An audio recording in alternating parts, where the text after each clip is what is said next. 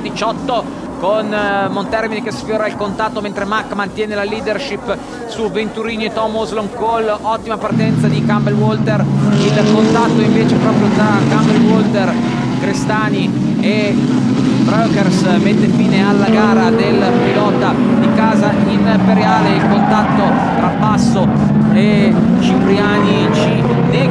possibilità di vedere il barone rampante lottare ma qui parte la rimonta di Montermini. Contatto con Crestani che finisce in testa coda a largo anche Rugolo.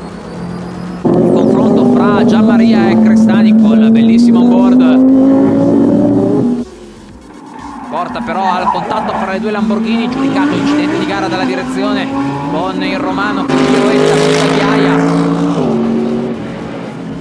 passo di Diamato nei confronti di West per il recupero verso il podio al debutto nel GT Open anche Piergold subirà pronta del sorpasso.